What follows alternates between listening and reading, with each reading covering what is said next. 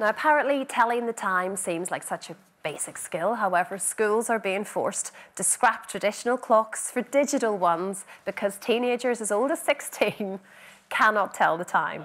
Is that for real? Apparently it is. Oh. Um, so is it up to our schools to try and teach our teenagers the time or is it up to all of us at home to try and teach it to them when I've they're younger? 10-year-old and a seven-year-old, OK?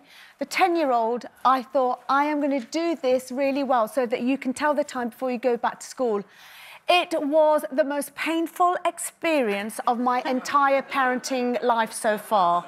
I thought it would be easy, five times tables, going to the hour, going past the hour. It was horrendous. So it, in my mind, Schools, it is your responsibility to teach children to tell the time. I ain't doing it. I ain't doing it. They do teach them, though, from primary, don't they? They teach them, because I know Ciara started learning in primary school. Well, they can't be. So 16-year-olds leaving school not to learn Yeah, but it's time. funny because now, of course, they've got all the phones, so they That's just it. look at their phone. Um, most of the 16-year-old, Ciara's 16 and her friend's 16, 17, and most of them can tell the time, but struggle with the 24-hour clock. Oh. Why? Because so, it's too many numbers, more, more than on two I think it's because, I think, yeah, I think it's, you know, a lot of the times they'll turn around and go, what, what's 2040 again? Well, I can tell the time. Did you not act out big hand, little hand? Weren't you acting I out did the kitchen? I did everything, Janet, honestly. When the big hand reaches the top and all of that. Well, I learnt the time, and I've collected watches, and I love owning watches, and I would never go... I hate digital watches. And yet you're always late. Yeah. Oh, Boom! well, I'm all right. It's not deal with her later.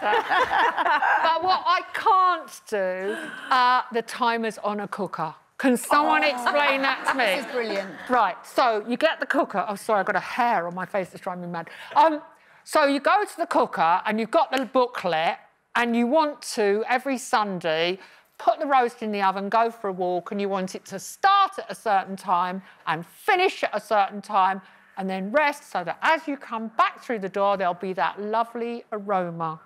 And what do you do? You stand there and you're stabbing at it. and when you make the red, you've got the arrow going forward, you've got the little casserole sign, you've got the pingy, the pingy bell thing.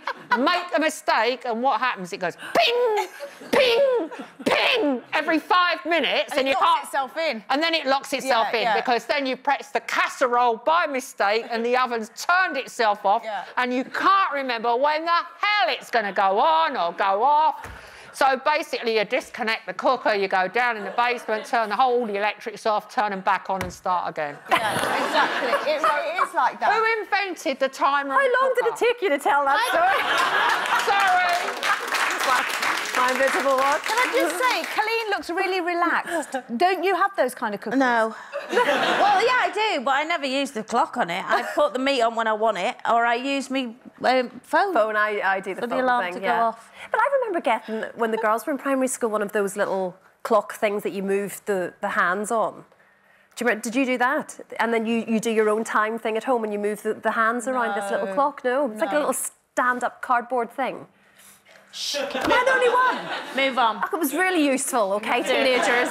Teenagers out there, if you can't tell the time, go and get yourself one of them. Christine, just, Christine, just quickly, though, we did do a poll on this. Whose responsibility is it to teach children to tell the time? 84% said parents. Oh, 16% teachers. There you ah, go. Oh, You're right. Oh, my goodness. Outnumbered. Good luck, parents.